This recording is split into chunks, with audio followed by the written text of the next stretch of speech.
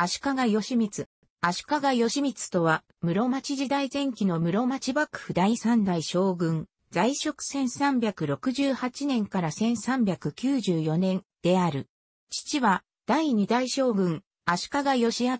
母は、側室の器量子。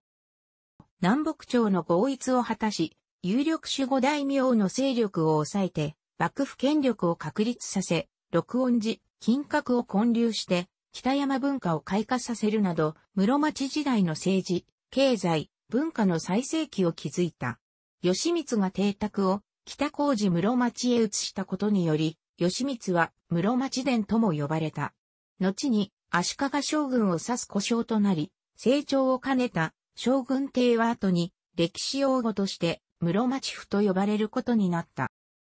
昭平13年、延文3年、1358年8月22日、京都春日東道院にある幕府万所執事の伊勢貞次入道正前の屋敷で生まれる。祖父である高氏の死からちょうど100日目のことである。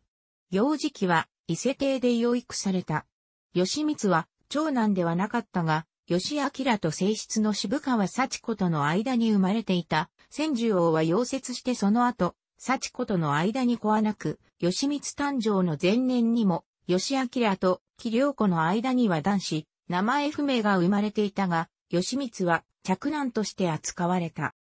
義満が幼少の頃の幕府は南朝との構想が続き、さらに足利家の内紛である官能の上乱以来、幕政をめぐる争いが深刻さを増していた。やがて清掃で失脚した細川清氏などの有力武将が南朝勢力に加担し、昭平16年、公安元年、1361年12月には、細川清氏や楠木正則、石東頼夫さらに京都を占領され、義明は五皇言天皇を報じて近江に逃れ、義満はわずかな家臣に守られて、県人寺に逃れた後、北野義経に護衛されて、赤松則助の居城、播磨八鬼城への避難を余儀なくされた。この後しばらくの間、則助により義満は養育される。翌年、幕府、北朝側が京都を奪還したため帰郷しているが、木戸で、摂津に泊まった際にその場所、明石、妻あたりの景色が良いことを切り、ここの景色は良いから、京都に持って帰ろう。お前たちが担いで行けと家臣らに明治家臣らは、その急壮大さに驚いたという。京都に帰還した義満は新しく官僚となった芝義行に養育され、昭平19年、常時3年、1364年3月に7歳で初めて乗馬した。昭平20年、常時4年、1365年5月には夜会の儀を行い、6月には七条の赤松のリスケ、屋敷で祝儀として馬、鎧、太刀、弓や等の贈り物を受けるなど、養父であるノリスケとは信仰を続けた。昭平21年、常時5年、1366年12月7日には、五皇言天皇から名字を、義満取り、十五石下に除せられた。なお、この時、高吉という意味名も提示されたが、柳原忠光により、義満が選ばれたという。常時5年、昭平21年、1366年8月に、常時の変が起こって、柴田勝家、吉行不死が圧死すると、叔父の足利元氏の推挙により、細川頼之が公認の官僚に任命された。この頃の義満は、祖母の赤橋高子の旧屋敷に移ったり、赤松の利助の山荘に立ち寄ったりしている。昭平22年、常時6年、1367年11月になると、父、義明が重病となる。義明は死期を悟り、11月25日に、義満に政務を移譲し、細川頼之を官僚として、義満の貢献、共同を託した。朝廷は12月3日に、義満を生後位した左馬頭に除任した。12月7日に義明は死去し、義満が第三代将軍として足利将軍家を継いだ。1368年、昭平23年、大安元年に表情史が行われ、4月には官僚、細川頼之を烏帽子親として元服が行われた。この時、果敢を務める頼之をはじめ、理髪、ダラン、ゆする付きの4役をすべて細川氏一門が取りった。1369年、昌平24年、王安2年には、正式に将軍に就任した。幕政は官僚、細川頼之をはじめ、足利一門の守護大名が主導することにより、帝王学を学ぶ。頼之は、王安王法を実施して、土地支配を強固なものにし、京都や鎌倉の御三制度を整えて、宗教統制を強化した。また、南朝最大の勢力圏であった九州に、今川貞代、両春、大内義弘を派遣して、南朝勢力を弱体化させ、幕府権力を固めた。1374年、文中3年、王安7年には、日野行使を室に迎えた。さらに、京都の支配を強化するために、1370年、王安3年に、朝廷より、山門君と、延暦寺及びその支配下の諸勢力及び、その構成員に対する取締権を与えられた。1375年、永和元年、21代州の20番目にあたる、新五州岩家州は、義光の失踪により五円遊院が直線を加盟した。1378年、天寿4年、永和4年には、邸宅を三条坊門より、北工事室町に移し、幕府の成長とした。移転後の幕府、室町代は、後に、花の御所と呼ばれ、今日では、その所在地により、室町幕府と呼んでいる。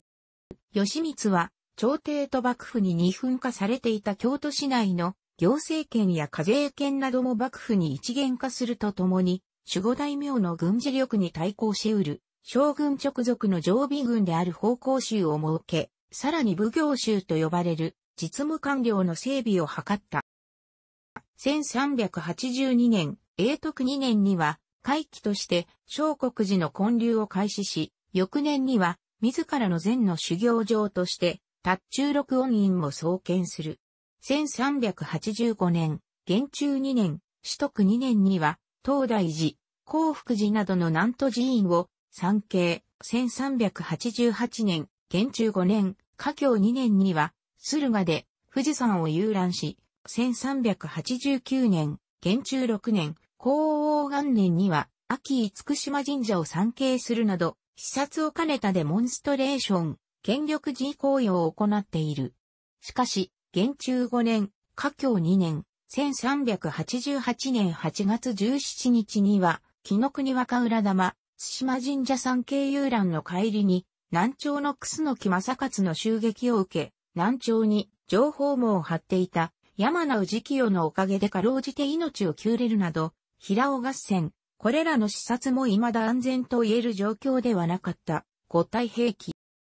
1379年、天寿5年、攻略元年、義満は、藩頼行派の守護大名である、芝義行や時頼康らに屋敷を包囲され、頼行の罷免を求められ、頼行は罷免される、攻略の政変。公認の官僚には義行が任命され、幕政の人事も芝派に改められる。頼行に対しては追悼令が下されるが翌年には、赦免されて、宿老として幕政に復帰しており、また政変後に義満の将軍権力が確立していることから芝、細川両派の構想を利用して相互に牽制させていたと考えられている。頼康の死後、分裂して争うと騎士の内紛につけ込んで、時氏を討伐した時康行の乱。1391年、元中8年、明徳2年には、山梨の内紛に介入し、11カ国の守護を兼ねて、6分、一伝と称された有力守護大名、山名氏清を挑発して挙兵させ、同年12月に討伐する、明徳の乱。また、義満は1378年、天寿4年、永和4年3月に、右近衛大将に任ぜられ、征夷大将軍と近衛大将兼務はこれ安親王。以来、5ヶ月後には、県大納言を兼務して、以後、朝廷の長老である二条、吉本の支援を受けながら、公家社会の一員として、積極的に参加する姿勢を見せる。翌年8月14日、重支援高羅南朝片武家に奪われた、自社領の返還を求める幸福寺の大衆が、春日社の親睦を報じて落中に豪訴に及んだ、攻略の豪訴。石棺家以下藤原氏系の苦行は、親睦の真意を恐れて、出資を自重して、宮中行事が停滞する中、義満は自分が源氏であることを理由に出資を続け、1380年、天寿6年、攻略2年には一時中断していた、漁有史、作文史、歌会史などを立て続けに、大々的に再興して、反対に大衆をやつした。このため、同年12月15日に大衆と親睦は、幕府の重視討伐の約束以外に、具体的な成果を得ることなく、奈良に戻り、歴史上初めて親睦呪落による豪走失敗に終わらせて、自社勢力に大打撃を与えた。もっとも、年が明けると幕府は、幸福寺に死者を派遣して、これまでになかった直接対話を行って、幸福寺川の要望を聞き、延暦寺に対査しても、幕府との直接交渉ができる三門施設の設置を認め、所領工業や仏事再興にも取り組むなどの高難療養の使い分けを行っており、後に、義満が1385年、元中2年、取得2年に、なんと三景、前日行った際には、なんとの僧侶たちはこれをこぞって歓迎し、1394年、応永元年に延暦寺ゆかりの日吉社参詣を行った際にも、延暦寺から参詣費用の献上が行われて、吉光も号令に同社を寄進している。吉光は、祖父、高氏や父を超える内大臣、左大臣に就任主官位の昇進を続けた。1383年、高和3年、永徳3年には、武家として初めて、源氏長者となり、純那小学領院別当を兼任、純三校の宣言を受け、名実ともに、後部領勢力の頂点に上り詰めた。石棺家の人々にも、変気を与えるようになるなどその誠意は、ますます盛んになり、成中できるものは皆無に等しかった。また、これまで、院や天皇の意思を伝えていた天皇から命令を出させ、後部の一体化を推し進めた。これら異例の措置も三条金太だが、先例を超越した存在と評したように、公家側も受け入れざるを得ず、カレーとなる公家や時は宮光に王のように愛称を差し出す者も現れた。1392年、元中9年、明徳3年には、楠木正勝が寄っていた河内国地早城が陥落し、南朝勢力が全国的に追尾したため義満は、大内義弘を仲介に、南朝方と交渉を進め、自明院党と大覚寺党が交互に即位すること、両党鉄立や諸国の国画領をすべて大覚寺党の所有とすること、実際には国画領はわずかしかなかったなどの和平案を南朝の五亀山天皇に提示し、五亀山が保持していた三種の神器を北朝の五小松天皇に接収させて南朝が解消される形での南北朝合一を実現し58年に渡る朝廷の分裂を終結させる明徳の和訳。義満と対立して五小松天皇に上位していた五円遊上皇が1393年、明徳4年に死去し、自己の権力を確固たるものにした義満は1394年、応永元年には将軍職を嫡男の足利義持に譲って隠居した政治上の実権は握り続けた。同年、11位大乗大臣にまで昇進する。武家が大乗大臣に任官されたのは、平の清盛に次いで二人目である。そして、征夷大将軍を経験した武家が、大乗大臣に任官されたのは初めてであり、かつ後の時代を含めても義満が、足利家唯一の大乗大臣となった。翌年には出家して、道義と合した。義満の出家は、征夷大将軍として、武家の大乗大臣、準参考として、公家の頂点に達した義満が、残る自社勢力を支配する地位をも得ようとしたためであると考えられいる。義満の出家に際して、芝義行を、はじめ多くの武家役下、皇族の時は宮、三鶴人親王まで追従して出家している。1395年、応永2年には、九州短大として独自の権力を持っていた今川貞代を罷免する。1399年、応永6年には、西国の有力大名大内義弘を挑発し、義弘が堺で挙兵したのを機に討伐し、応永の乱、西日本で義満に対抗できる勢力は排除された。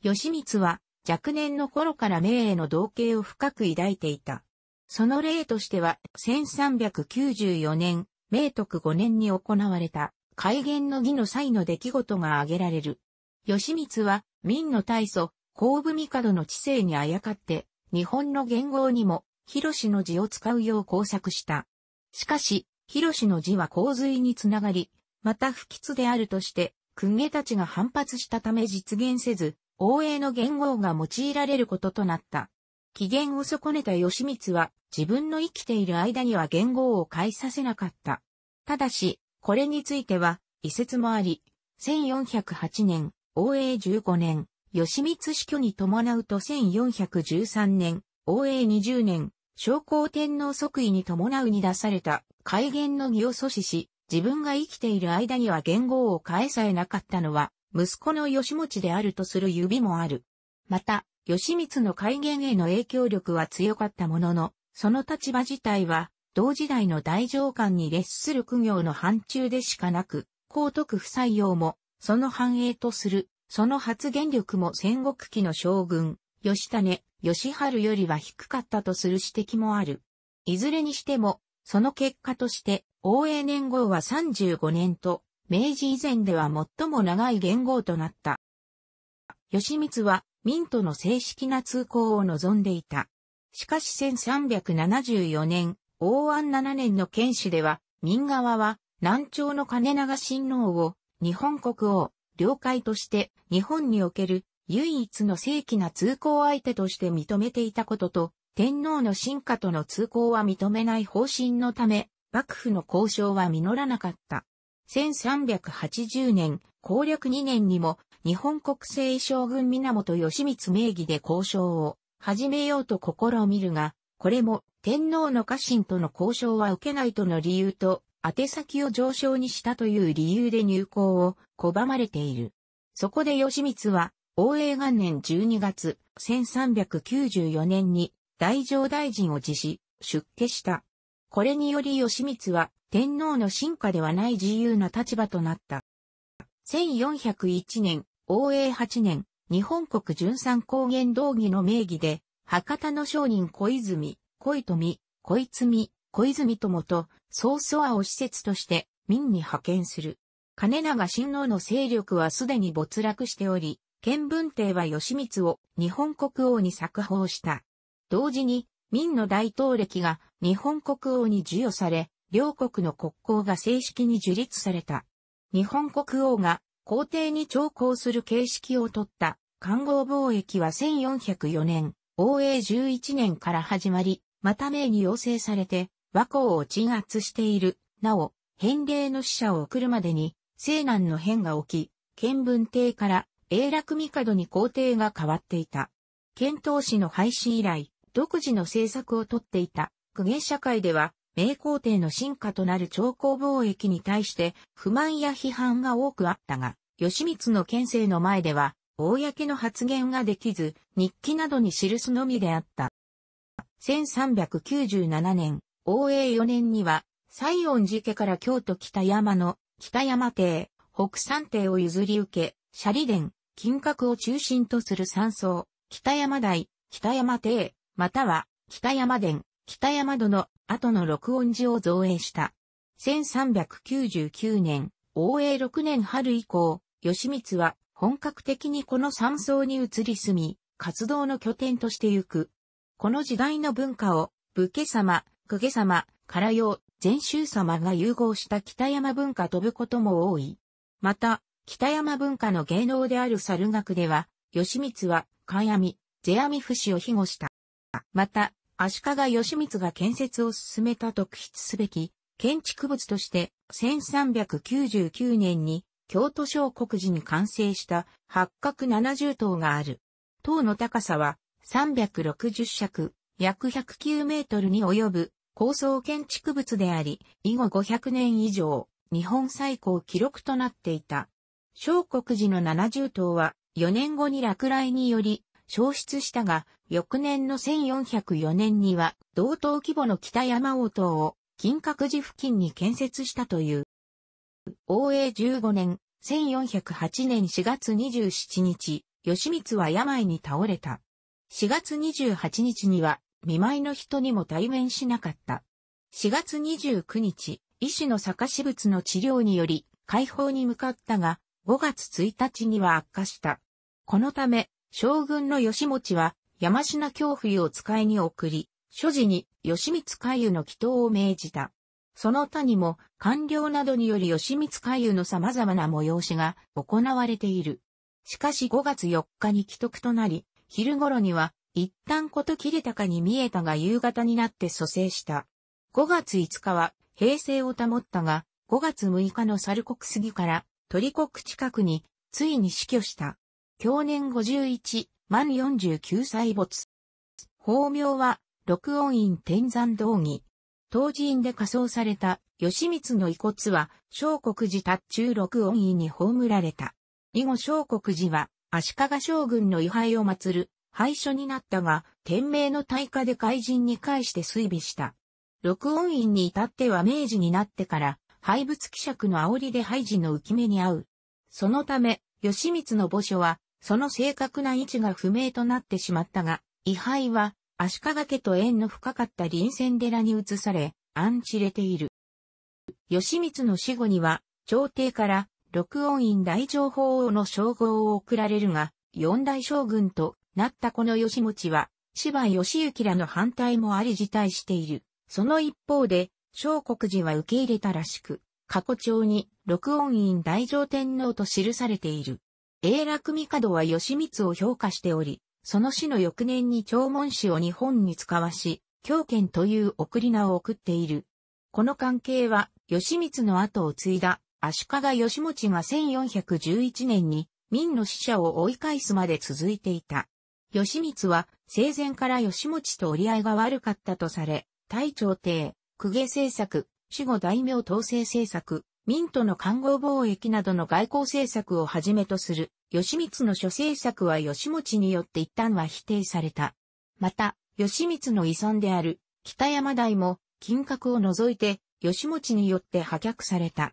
義持は義満が偏愛した義満の次男、義継が出奔した際に、謀反を企てたとして殺害している。後に義継の子孫は、越前に下り、子孫は、倉谷御所と呼ばれるようになった。六代将軍となった子である義則は、義満の政策を踏襲した姿勢を始めるが、下吉の乱で、赤松光助に暗殺されたことで頓挫する。孫の八代、義政も祖父や父の政治を引き継ごうとしたが、応仁の乱や側近政治の中で嫌気が差し政権、運営への情熱をなくしてしまう。また、義満の知性に従順であった有力守護大名も、再び幕府に対して反抗的な態度を取り始める。今川良春は南太平記において、大内義弘が今御所の御沙汰の、よう、に、及び申すごとくば、よ履物は、罪少なけれどもご不審をこうぶり面目を失うべし。強き者は上位を背くといえども差し置かれ申すべき上、皆人の知るところなり、義満様の政治を見ると、弱い者は罪が軽くても厳罰に処され、強い者は命令に背いてもそのままにされる。このことは皆が知っていると語ったと記録している。佐藤真一は、この強気を助け、弱気をくじく姿勢が義満の生涯を貫く政治テクニックだと評し、傲岸と卑屈さが同居した性格と評している。このことは、義満の有志である美穂院満載も、日民交渉や大名に対する接し方が、義持より、はるかに低調であったと回想している。この他にも、義満から様々な礼遇を受けた領春は、上の命に渡らせたまぬ、上が賢明でないと、義満を激しく批判している。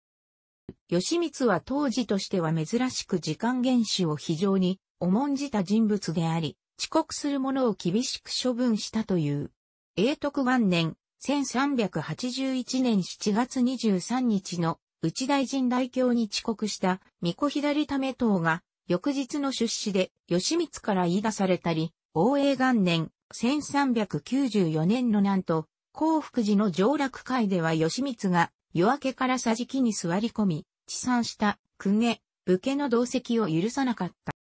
た。また義満は自分や周囲の服装にも口うるさく、応永13年、1406年に民主を迎えるために、兵庫へ下校した際には裏、松重光、山科京京らが、当時の軽装である実徳を着用させられ、京京の父、山科京ことが、実徳の体、当世の風体と嘆いている。自らは、民主を応接する際には、当人の装束で艦隊したという。また、朝廷においても毎月昨日の拝画では、武家装束のひたたれを、中旬に行われる巡る儀等では、公家装束である側体の着用を指図しており、側近たちは、毎月ひたたれを新調していたという。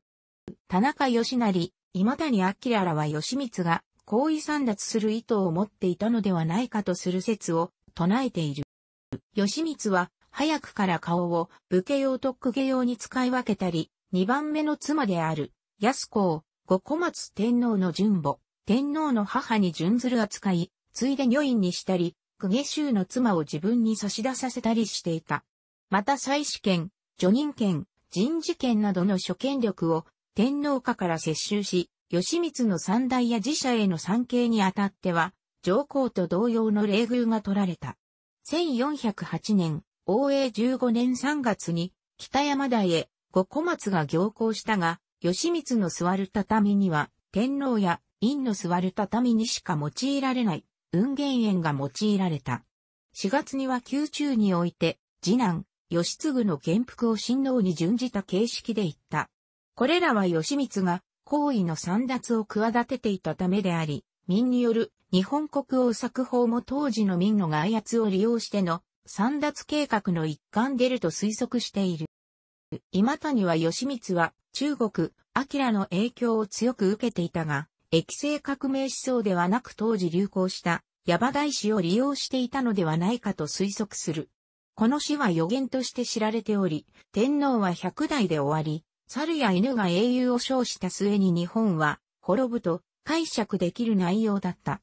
百王説と呼ばれる天皇が百代で終わるという終末思想は自演、愚章などに記録されており、幅広く浸透していたことが推測できる。鎌倉久保の足利氏光は、猿年生まれ、ただし現在では、井年生まれとされる義満は犬年生まれだから猿や犬とは二人のことであという解釈もされていた。なお、行為散奪とは、義満自らが天皇に即位するわけではなく自天の君、実権を持つ天皇家の課長となって王権、天皇の権力を散奪することを意味している。寵愛していた次男、義継を天皇にして、自らは天皇の父親として天皇家を吸収するというものである。しかし、当時の公家の日記などには、義満の行為が行為散奪計画の一環であるとした記録はなく、直接の証拠はない。また、行為散奪計画の最大の障害になるはずである、諸君、ミヒト親王が何らかの圧迫を受けていたとする記録もない。その後の研究では義満以降の日本国王号が日本国内向けに使用された形跡がないことから、国王号が朝廷に代わる権威としてではなく朝貢貿易上の肩書きに過ぎなかったと評価されている。石原秀良は、今谷説の批判を通じて、これまでの足利義満期の公部関係に関する研究の問題点を指摘し、義満は将軍の任命権者である北朝天皇の権威の回復のために、朝義の復興を原理原則に中かつ意義厳重に再考されるべきという考えであったと指摘した上で、義満によって処罰された公家の多くはこの方針に反した者たちであったが義満の方針に最も反発したのは自天の君である遠遊天皇、後に上皇であったとする。このため、義満は自らの朝廷政策の実現のために、ご遠遊天皇を退位させてその権限を剥奪して、新帝、五小松天皇の父代わりを演じる必要があったと推測し、今谷説は足利義満と五円遊天皇の個人的対立を後部関係全体にまで広げた過大な解釈であると批判し、義満の上皇下も自己の朝廷政策を実現させるために対立した五円遊天皇を排除して、義満寺が五小松天皇の貢献を行う必要性があったからだとしている。榎木原正治によれば、現在では、義満の公家化は、朝廷側にも、義満を利用しようという思惑があったとの考えが、定説となりつつあるという。当時財政的に急防していた朝廷は、政治的安定によって、経済的支援などを得ようとした。権威の復興を図る朝廷と武家の中で足利家の権威をより高めようとする義満の意図が一致し、義満が公家化したとされる。義満の取った措置は、この義持によって改められた。義満への大乗天皇増位は辞退され、義持に対し、公家たちが義満と同様の礼を取ろうとした際も、義持は辞退している。ただし、その義持も、義満の朝廷政策のすべてを否定していたわけではなく、義持の顔は公家様の顔しか伝えられておらず、公家の家紋安堵に関与して、後継者に返記を授与したり、昭皇天皇、三人親王の御名を改めさせる、天皇の御名変更は、義満ですら成し得なかったなど朝廷への影響力行使を続けており、天皇との直接的な距離は置きつつも朝廷に対する関与路線は、継ぎされている。仮に三奪計画があったとしても、それは、吉光和人の計画であり、吉持や官僚、芝義行をはじめとする、守護大名たちは参画していなかった。近年では、王権三奪説に対する批判が相次ぎ、もはやそのままでは成立しない学説となっている。